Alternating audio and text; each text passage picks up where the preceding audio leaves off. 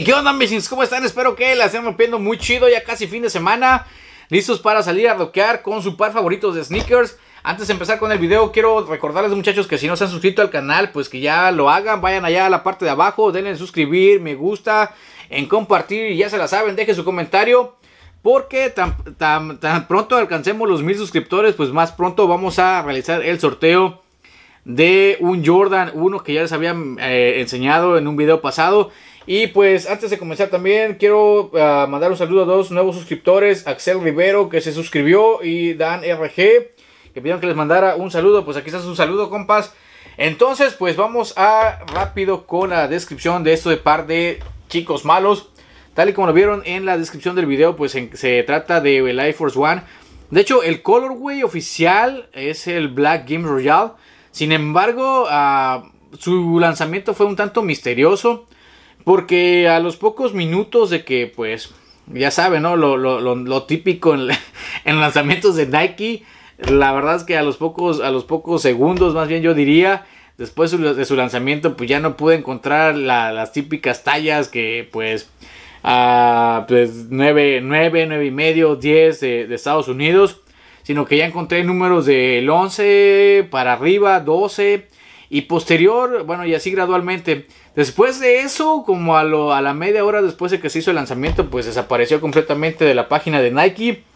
No, tuve, no tenía mucha información acerca de este par porque ni siquiera en StockX lo pude encontrar por el nombre, bueno, por su nombre oficial.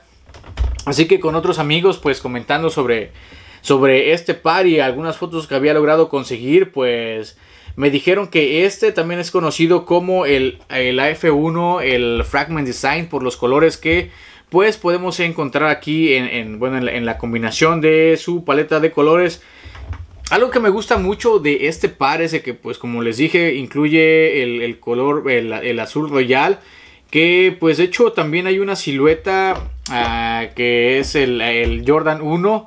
Que también salió con este colorway que actualmente ah, el precio de, de, reventa de ese Jordan está por las nubes, 4 mil, 5 mil dólares dependiendo de tu talla.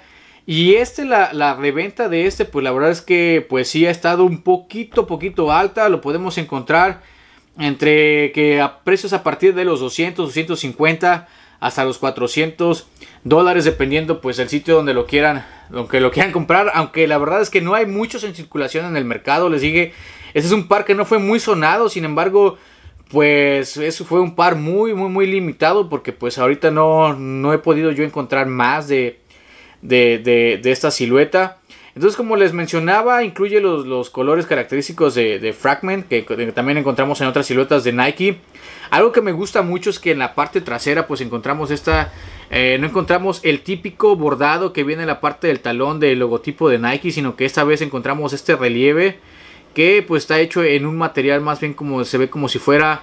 Ah, bueno, es una plaquita metálica que se siente bastante, eh, el relieve es bastante pronunciado y en la parte de abajo pues encontramos estas tres estrellitas que la verdad se ven de lujo de mar. Parte de los costados muchachos pues encontramos que en el sush ah, tanto en, en, ambos paneles eh, encontramos que viene en la parte de abajo viene como esta plaquita metálica también que pues después ahí viene sobrepuesto el sush que ya es en estamos hablando ya de un material que es piel la verdad es que esta piel en comparación de otros, bueno, también de otros Air Force One, la verdad es que es una piel muy suave, es de bastante calidad. La misma que encontramos en los paneles traseros, delanteros y a los costados es la misma que vamos a encontrar, bueno, en, su totalidad. No, no hay más materiales aquí utilizados. Además de, pues, del, como les mencionaba, de esta plaquita de metal que encontramos en el sush. Y en la parte de atrás.